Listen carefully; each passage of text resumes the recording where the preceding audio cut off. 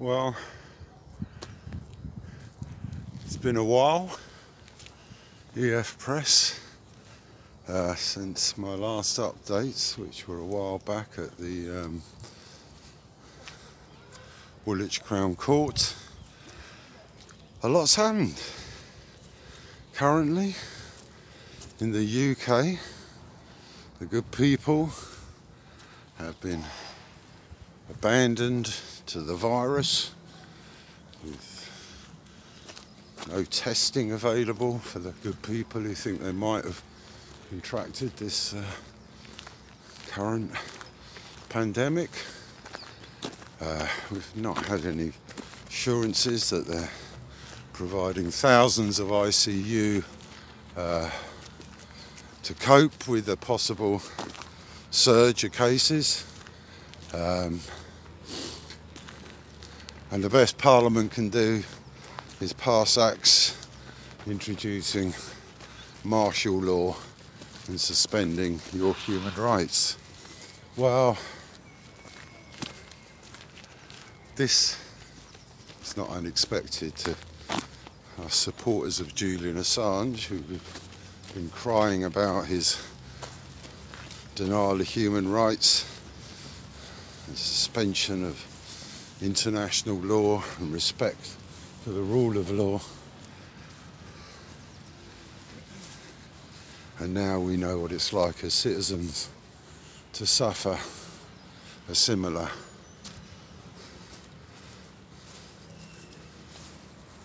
fate to those who warned us about these sort of actions. Um, martial law,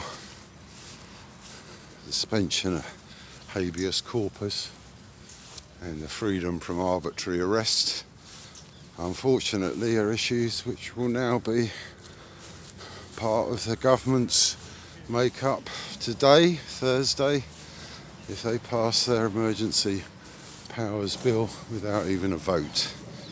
Uh, this is what totalitarianism is, and EF Press. Will try and resist, as the citizens must, if the care and the needs of our vulnerable population, our elderly and those with pre-existing conditions will demand that our governments through the local authorities, hospitals and emergency services are able to cope tens of thousands, if not more, of people in need of urgent medical assistance. This is the reality when you destroy the public health service, privatise it to the point where the workers are on zero hour contracts and the people who should be receiving the benefit of all our help in this time of crisis are treated no worse than minions, slaves, told what to do without being given the facilities and the means to do it effectively, protecting our people from this current pandemic. I'll try and do some more EF Press updates. Um, it's been a while. I've been ill. I've not had help. I've had a family crisis. So these things are making times very difficult for everybody. Everybody.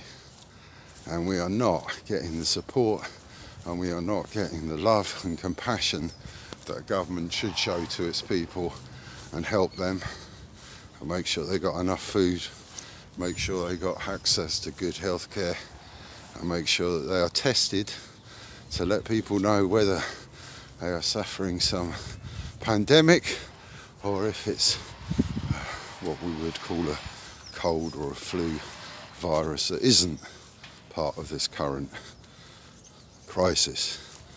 Anyway, thanks all the subscribers that left some really nice messages and uh, we'll get back to you. EF Press on the heath, on the street and on the beat.